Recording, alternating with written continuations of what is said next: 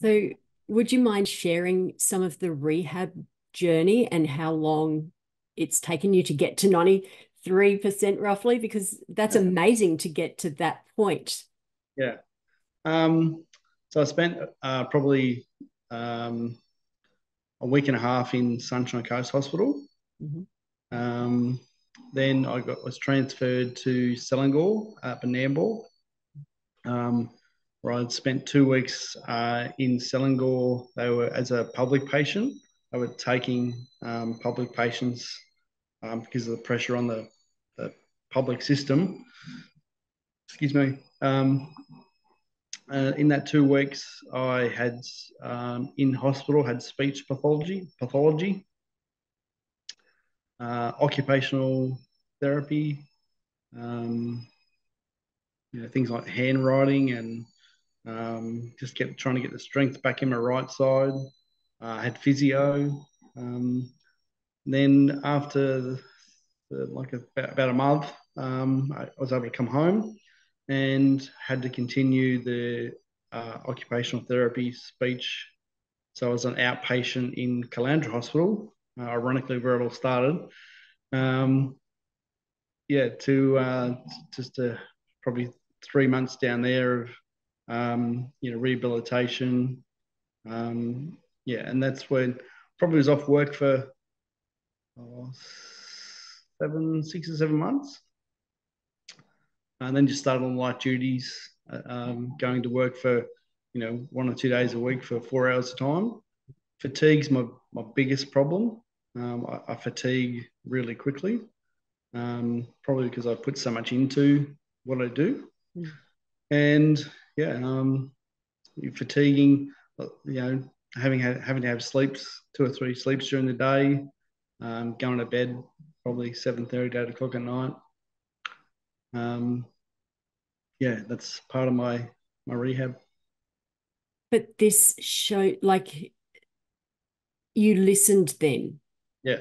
Through rehab. So congratulations for listening and not pushing yourself too hard, but pushing you, challenging yourself through rehab mm. and looking after yourself at the same time. Mm. Thanks. Because that's a fine balance, isn't it? It is, yeah, yeah.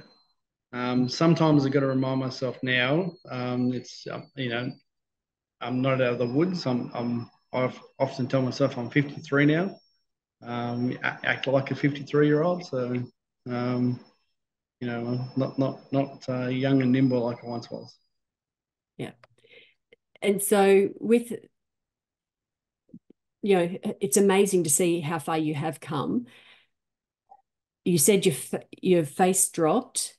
It affected your right side. How bad was it? Um,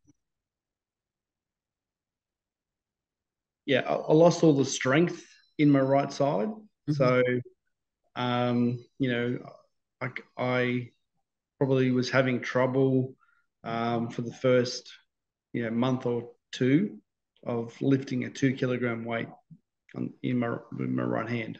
Um, you know, I, I got to a stage where I thought I was a bit smarter. I was trying to out- outdo the rehab, and I tend to do a lot of things left-handed. Um, some things I can't do left-handed, so I was forced to to use my right right hand and right side. Um, yeah, so that was uh, that was that was the, the, the main thing that yeah, just having to force myself to do the do the stuff with my right right hand, mm. uh, right side of my body. You know, get up, sit down, um, go down on one knee, um, put you know lift things above your head. Mm-hmm. Um, that was that was something yeah that I really had to focus on to to improve. And we take these things for granted, don't we? Mm. Yeah. It's just everything that we do, we just go about our day. It's all unconscious until something like this happens. And, and it's it's the simplest things. Mm. As you said, like just putting putting your um, arm above your head. Yeah. Getting dressed. Get oh yeah, getting dressed. That yes. was, you know, um, for, for the first probably 12 months, um, you know, put your arm in a sleeve, it's like it's like you're in slow motion. Mm. Um, you know, everything you do, uh, get down. I go to the, down to the uh, soccer or football club. Um, I'm I'm right-footed. You know, kick a ball. Um, I, that's that's one thing I noticed. That don't have as much power in my legs, in my right leg. Um, so I've become very proficient in kicking the ball left-footed. Um, yeah, and uh, if I kick right-footed, uh, for the first 12 months, it looked like looked like it was in, I was like in slow motion. Um, yeah, just um, getting something out of a cupboard and mm. having to reach up with my right hand um, was was a challenge. And then trying to hold the maybe a cup or, or a, a, plate, having to hold that, you know, just things that you take for granted, don't even think about. You have to uh, really concentrate to to to get by. Yeah.